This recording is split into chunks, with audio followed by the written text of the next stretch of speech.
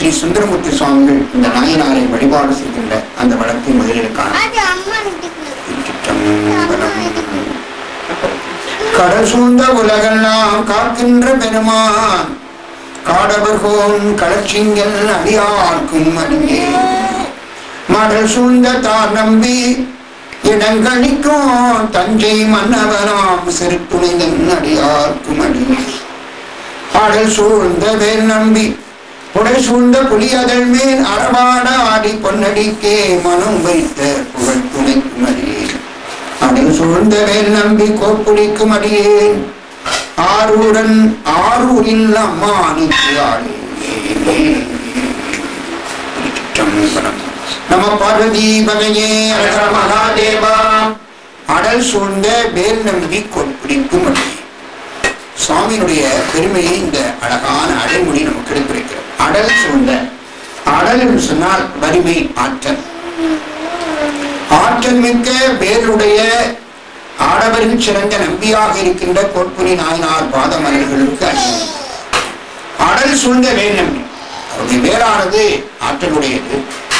எதிரி படைகள் எல்லாம் தூள்துளாக்குவது உண்டு இரண்டாவது அவருடைய உறுதிப்பாடு அந்த வலிமை அந்த ஆற்றல் சிவபெருமானுடைய திருவடியை வைத்த அழுத்தம் திருத்தமான ஒரு வல்லமையை இந்த அடல்கிற சொல் நமக்கு அப்படி வாழ்க்கையிலே வாழ்ந்து காட்டிய உத்தமருடைய பாத மலர்களை நான் வணங்குகிறேன்.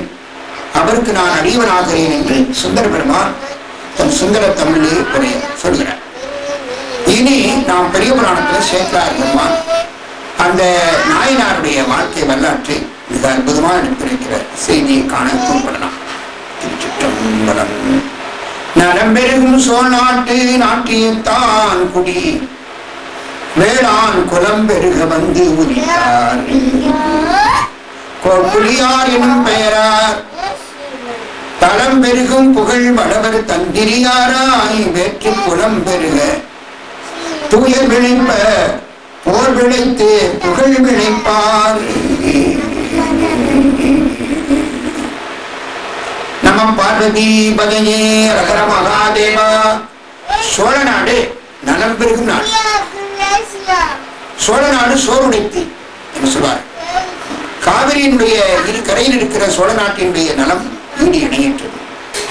ஆண்டுதானே நாட்டியத்தான் கூடிய இந்த அற்புத சித்திரம் அந்த நாட்டின் நாட்டியத்தான் கூடிய இந்த நாட்டியம் ஆடுகிற நடராஜ பெருமான் இருக்கின்ற ஒரு அருமையான கிராமம்.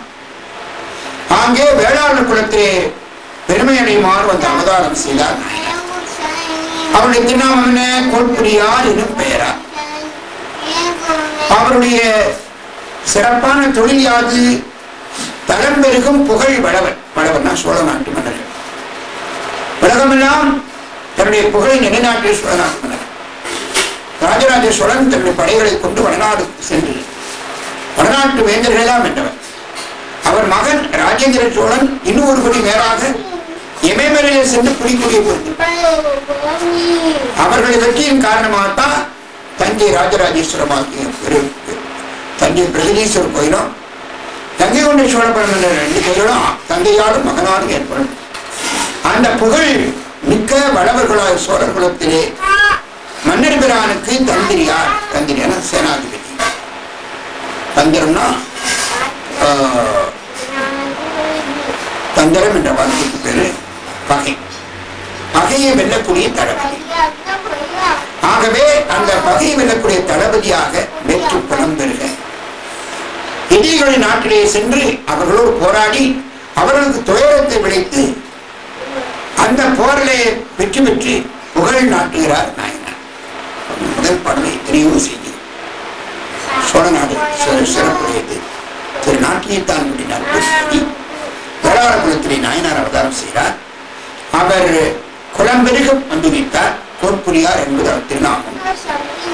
புகழுடைய தொலைநாட்டு மன்னருக்கு அவர் தளபதியாக வேண்டியிருந்தார் எதிரிகளுடைய படைகளெல்லாம் துவம்சமாக்கக்கூடிய பேராற்றக்கூடியவர் அவர் புகழ் எங்கும் பரவி இருக்கிறது இவ்வாறு போர் விழைத்து தளபதியாக வெற்றி பெற்ற பிறகு மன்னன் கொடுக்கிற பெரும் கொடை பொருளையெல்லாம் கொண்டு அடியார்களுக்கும் அமுது உடைக்கிறது.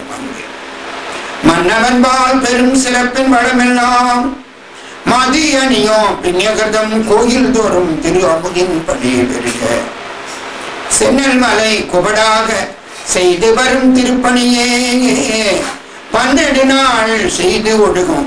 பாங்கு புரிந்து ஒங்கு நாள் மன்னவன் வாழ் பெரும் சிறப்பின் வளமெல்லாம். வெற்றி பெற்றவுடன் மன்ன மகாராஜா கொடுக்கிற இந்த எல்லாம் கொண்டு போய் என்ன செய்யறாராம் மதியணியும் பிஞகர்தம் கோயில் தோறும். மதியணி இந்த பித்தா பிரேஷுடியன புகழ்பெற்ற பரமேஸ்வரர் இருக்கிறாரே. அவர் எழுந்திருக்கிற கோயில்கள் எல்லாம் கோயில்களையும் ஆறு கால பூஜைக்குள்ள திரு அமுதனுடைய நெல்லை அவர் சாப்பிடவில்லை. திரு அமுதின் படி பெருக ஒவ்வொரு கோயிலுக்கும் மலை போல நெல்லை குவிச்சு இதோ இந்த கோயில்ல அமுதிபடிக்கு இந்த நெல்லை பயன்படுத்துகிறது சென்னல் மலை குபடாக செய்து வரும் திருப்பணியே. எந்த கோயிலையும் நெல் தட்டுப்பாடு வரக்கூடாது. திருவமுது நன்கு கிடை நிகழ வேண்டும். அதற்காக ஒவ்வொரு திருக்கோயிலுக்கும் மலை போல நெல்லை குவித்து அதை வணங்கு வழங்கி வளம் பெற்றவன் நாயனார். ஒரு நாளா ரெண்டு நாளா பன்னெண்டு நாள் செய்து ஒழுகும் பாங்கு புரிந்து ஓங்கினார். எனவே சிவாலயத்திற்கு அமுதுபடை வைக்கிற ஒரு அருமையான பணியை செய்து வருகிறார். அது என்ன அரிசி? சென்னல் அரிசி. அந்த நெல்களே சென்னல் தான் சிறப்புடைய சிவருமான் கோயில். அறிவாட்ட நாயனார் சென்னல் அரிசி தான் சாமிக்கு படுத்தார். அந்த சென்னல் அரிசி நன்றைக்கெல்லாம் பார்த்தா திருக்கோயில்களில் உள்ள அதிகாரிகள் நல்ல நெல்லை வித்துட்டு படாவது நெல்லை வாங்கி சுவாமிக்கு அமது கிடைக்கிறார் எத்தனையோ அதிகாரிகள் இருக்கிறாங்க.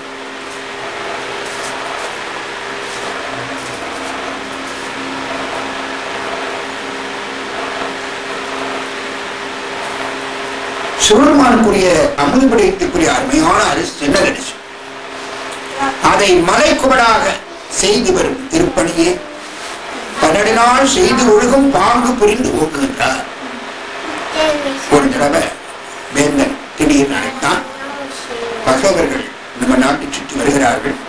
நீ சென்று அவர்களை வென்று வருக. வேந்தன் ஏவலில் பகைஞர் மூனையுமே செல்கின்றார். பகைவரை எதிர்ப்பதற்காக செல்லும் போது என்ன செய்தார்? ஊர் மக்களை தான் கூப்பிட்டார்.